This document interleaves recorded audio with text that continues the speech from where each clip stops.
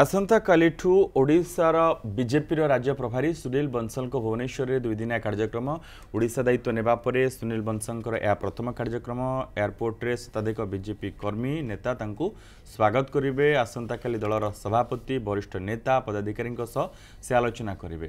ଦଳର ବିଧାୟକ ସାଂସଦ ବିଭିନ୍ନ ପଦାଧିକାରୀଙ୍କ ସହ ଆଲୋଚନା କରିବାର କାର୍ଯ୍ୟକ୍ରମ ରହିଛି। ସଂଗଠନ ଦୁଇହଜାର ଚବିଶର ରଣନୀତି ସମ୍ପର୍କରେ ଆଲୋଚନା ହେବ। ତେବେ ବିଜେଡି କହିଛି ସୁନୀଲ ବଂଶଲଙ୍କ ଗସ୍ତର କୌଣସି ପ୍ରଭାବ ପଡ଼ିବନି। ଦୁଇହଜାର ଚବିଶରେ ବିଜେଡିକୁ ବହୁମତ ମିଳିବ ବୋଲି ସରକାରୀ ଦଳ ମୁଖ୍ୟ ସଚେତକ କହିଛନ୍ତି।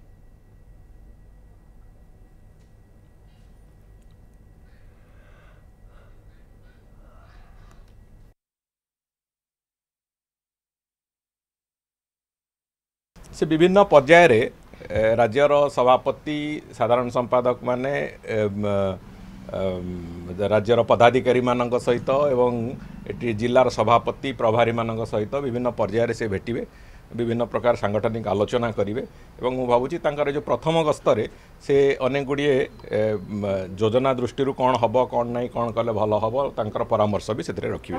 ଫୋକସ୍ ପୁରାପୁରି ଭାବରେ ଆଗାମୀ ନିର୍ବାଚନକୁ ଫୋକସ୍ ରଖିକି ପାର୍ଟିକୁ ପୁରା ପ୍ରସ୍ତୁତ କରିବା ପାଇଁ ଯାହା ଯୋଜନା ସେ ଯୋଜନା କେନ୍ଦ୍ରୀୟ ପାର୍ଟିର ଏବଂ ସେ ପ- ଯୋଜନାକୁ ଅ, ପ୍ରତିଫଳନ କରିବା ପାଇଁ ପରିସ୍ଫୁଟନ କରିବା ପାଇଁ ଶ୍ରୀ ସୁନୀଲ ବଂଶଲଜୀଙ୍କ ଯେଉଁ ପ୍ରୋଗ୍ରାମ ଅଛି ସେ ନିଶ୍ଚିତ ଭାବରେ ଏକ ନୂଆ ମାଇଲଷ୍ଟୋନ୍ ଭିତରେ ତିଆରି କରିବ। ଯେଉଁମାନେ ବିରୋଧୀ ଦଳରେ ଅଛନ୍ତି ତାଙ୍କ କାମ ହେଉଛି ତାଙ୍କ ଦଳକୁ କେମିତି ଆଗକୁ ନେବା। କିନ୍ତୁ ବାସ୍ତବତା କ'ଣ? ବାସ୍ତବତା ହେଉଛି ଲୋକମାନଙ୍କର ହୃଦୟରେ ଅଛି ବିଜୁ ଜନତା ଦଳ। ବିଜୁ ଜନତା ଦଳ ଲୋକମାନଙ୍କ ମନ ଭିତରେ ଅଛି। ନବୀନ ବାବୁଙ୍କ ସ୍ୱଚ୍ଛ ଭାବମୂର୍ତ୍ତି ଏବଂ ଶାସନ ବ୍ୟବସ୍ଥା ଆକୁ ଗ୍ରହଣ କରିନେଇଛନ୍ତି ଓଡ଼ିଶାର ସାଢ଼େ ଚାରି କୋଟି ଓଡ଼ିଆ। ତେଣୁ କୌଣସି ପ୍ରତିବନ୍ଧକ ନାହିଁ କୌଣସି ଫରକ ବି ପଡ଼ିବ ନାହିଁ। ଆମେ ପୁଣି ଦୁଇ ହଜାର ଚବିଶ ଇଲେକ୍ସନରେ ଆହୁରି ତାଠାରୁ ଅଧିକା ମେଜରିଟିରେ ଆସିବୁ।